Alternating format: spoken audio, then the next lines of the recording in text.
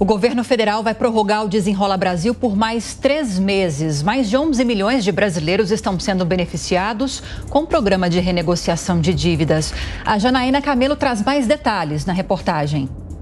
O Ministério da Fazenda fez um balanço do programa Desenrola, que entrou em vigor em julho deste ano. Já foram renegociados 29 bilhões de reais por 10 milhões e 700 mil pessoas. Mas, segundo o governo, do público de devedores que ainda não contrataram a renegociação e que atendem aos critérios para ganhar o benefício, 40% tem perfil bronze na plataforma gov.br. É necessário ter uma conta prata ou ouro para participar da segunda fase do Desenrola, que atende devedores que recebem até dois salários mínimos ou que façam parte do cadastro único. O secretário de Reformas Econômicas do Ministério da Fazenda, Marcos Pinto, disse que o governo irá editar uma medida provisória prevendo mudanças no acesso à plataforma e prorrogando a vigência do o programa. de pessoas que ainda não visitaram a plataforma e têm benefícios lá ainda é muito grande.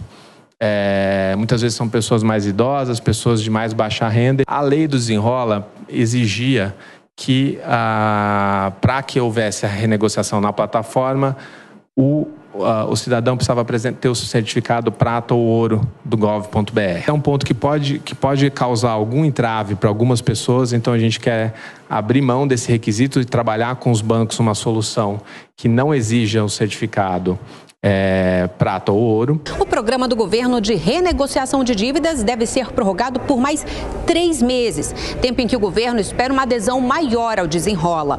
O Ministério da Fazenda faz um destaque sobre a praticidade em participar do programa. Segundo o balanço divulgado, 82% das renegociações feitas até agora foram realizadas pelo celular e em apenas quatro minutos. Nesta fase do programa, podem ser renegociadas dívidas de até 20 mil reais, negativadas entre 2019 e 2022. O Desenrola oferece um desconto de até 98% e a nova dívida pode ser paga em até 60 parcelas, a juros máximo de 1,99% ao mês. De acordo com o balanço divulgado, moradores de 96% dos municípios do país participaram do programa até agora. As dívidas financeiras, como dívida com cartão de crédito, respondem respondem pelo maior volume das renegociações na segunda fase do programa. Já entre os serviços não financeiros com mais dívidas renegociadas estão contas de luz, de telefone, internet e contas de água.